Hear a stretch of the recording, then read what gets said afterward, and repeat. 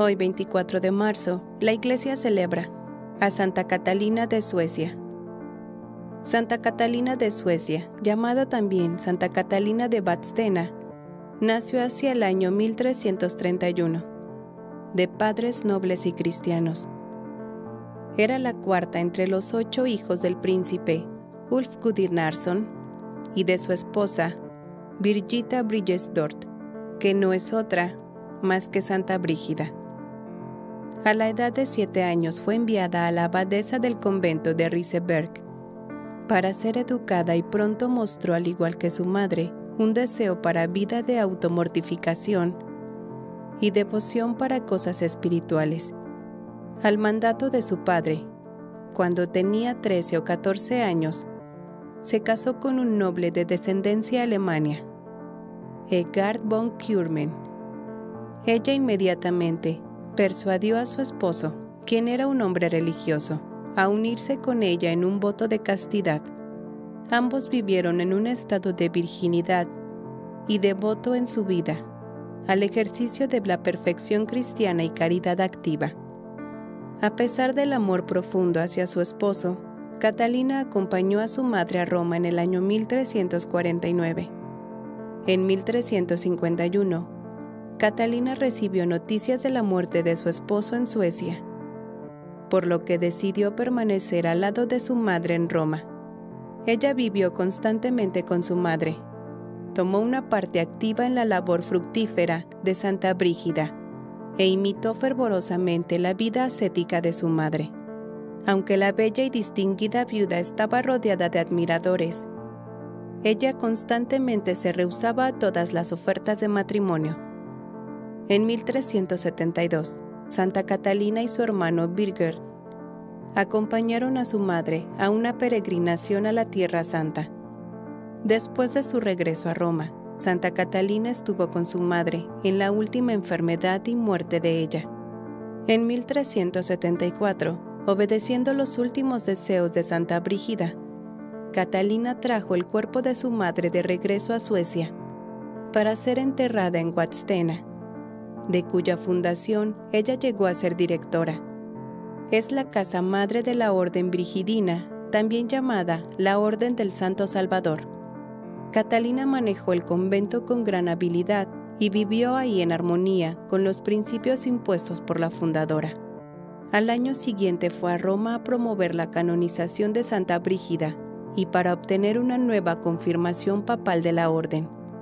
Ella aseguró otra confirmación, ambas de Gregorio XI y de Urbano VI, pero no fue capaz de ganar en ese tiempo la canonización de su madre, por la confusión causada por el cisma que retrasó el proceso.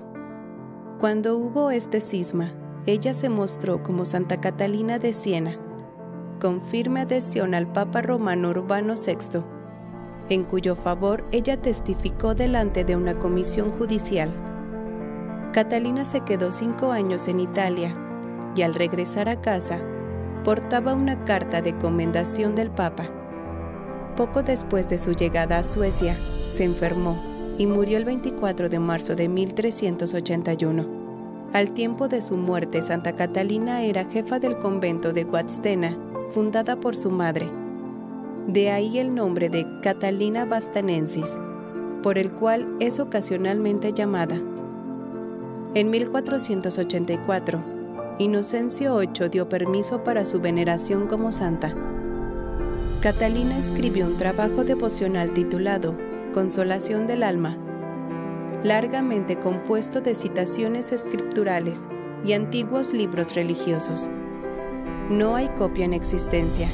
Generalmente ella es representada con una sierva a su lado, la cual se ha dicho vino a su ayuda cuando jóvenes sin castidad buscaban cortejarla.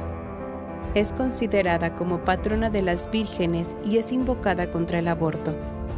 Se realizaron investigaciones para la canonización de Catalina entre el año 1475 y 1477.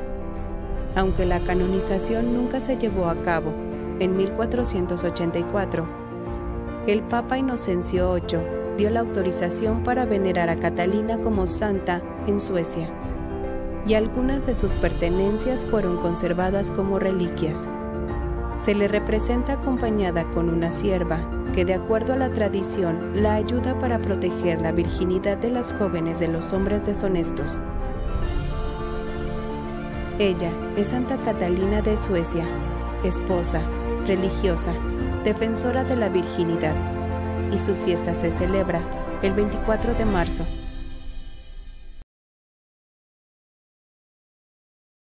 Padre nuestro que estás en el cielo, santificado sea tu nombre, venga a nosotros tu reino, hágase tu voluntad, así en la tierra como en el cielo. Danos hoy nuestro pan de cada día, perdona nuestras ofensas, como también nosotros perdonamos a los que nos ofenden. No nos dejes caer en tentación, y líbranos de todo mal. Amén. Dios te salve María, llena eres de gracia, el Señor es contigo, bendita eres entre todas las mujeres, y bendito es el fruto de tu vientre, Jesús. Santa María, Madre de Dios, ruega Señora por nosotros los pecadores, ahora y en la hora de nuestra muerte. Amén. Gloria al Padre, gloria al Hijo, y gloria al Espíritu Santo, como era en un principio, ahora y siempre, y por los siglos de los siglos. Amén. Por la señal de la Santa Cruz, de nuestros enemigos, líbranos Señor, Dios nuestro, en el nombre del Padre, del Hijo y del Espíritu Santo. Amén.